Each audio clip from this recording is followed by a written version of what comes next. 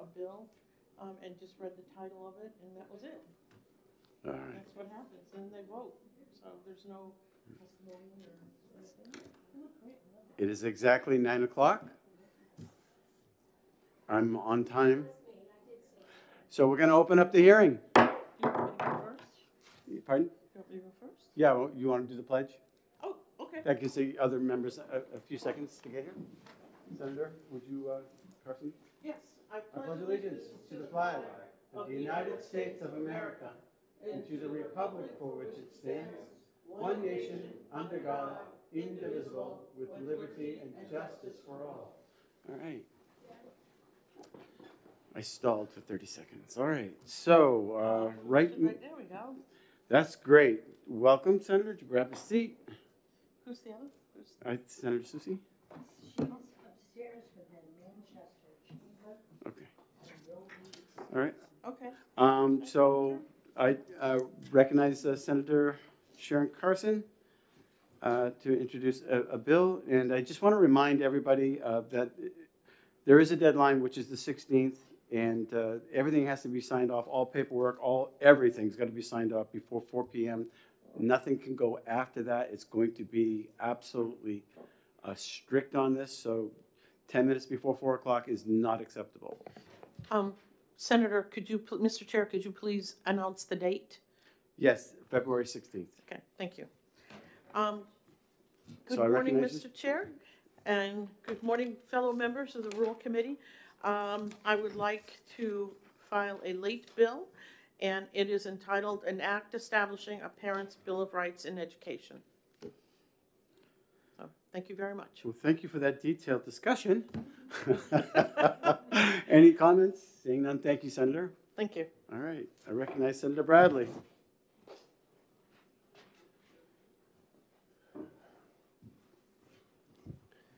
Thank you, Mr. Chair.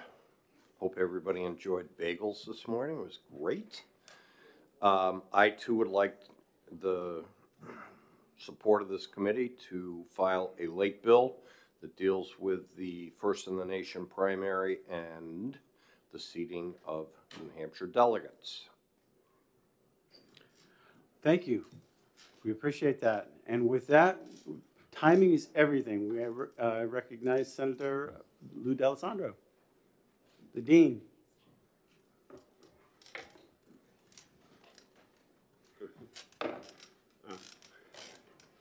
This is easy.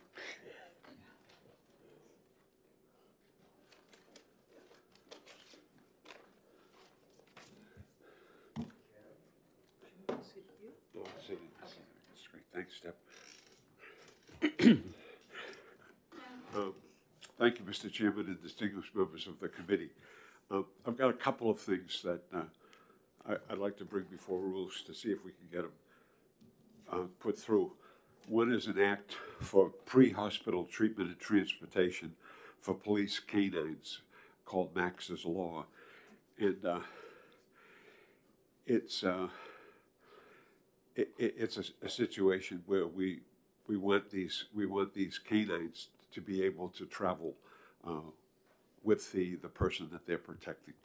Uh, and uh, it, uh, I've got a, I've, I've- got a fairly substantial backup piece that I'll leave for you, but I, I think it's, uh, the, the, uh, the bill was at the request of, uh, of Stephanie Shahid, whose daughter has one of these uh, guide dogs, who's with her constantly, uh, and uh, who's proved to be uh, just uh, an unbelievable asset in terms of moving her, her forward.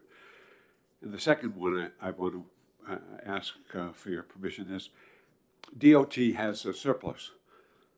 I think that that surplus should go back to the communities the way we sent money back to the communities in the last session. We sent 60 million back, 30 million for bridges and 30 million for roads. I'd like to follow that same process in that uh, I think many of us have been driving for a long period of time, and we know the condition of the roads and, and, and, and bridges, and there's a, there's a deterioration that's that's taking place because of the rough winters that we've had, and in some instances because of the amount of uh, the amount of sand that's so that's put on the roads. The, the roads are falling apart. And we were, we were noted for, for black, black roads when they came into New Hampshire and we're, uh, the basis of our economy is visitors and visitors using our highways. Uh, it seems to be uh, a, a good way to, to spend a surplus. So those are my two asks, and uh, thank you very much for taking the time to listen. Thank you, Senator. And uh, j- uh, you weren't here when I was, read the uh, announcement, but uh, the committee uh, has a deadline for all the late bills to be on Thursday, February 16th, no later than 4 PM, and they're, they're not cutting me any slack. So it's got to be completely done, all amendments, any language, dots, periods, and signed off by 4 PM. Okay, great. Not, not, not a problem. I'll be very efficient. Oh, we appreciate that.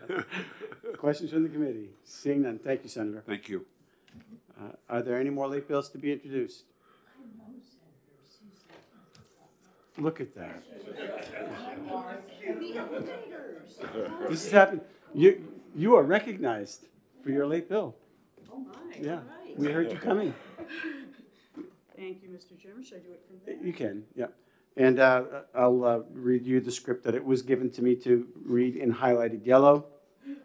The committee sets the deadline for everyone on, on that February 16th, 4 PM. All bills have to be signed off, completely done, all periods, everything punctuated, no later than 4 PM, February 16th.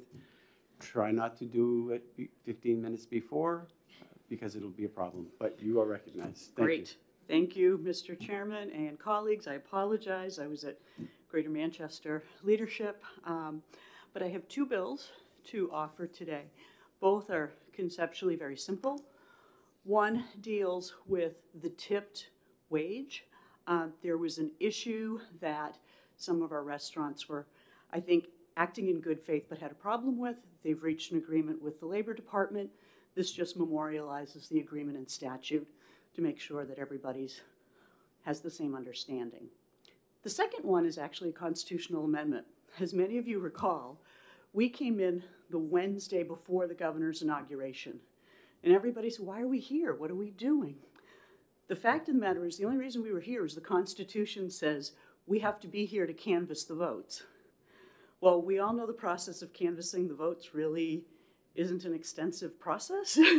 a committee is appointed, we walk to a corner and say we're going to canvass the votes. So this would combine that Wednesday activity with Thursday. Wonderful. That's it.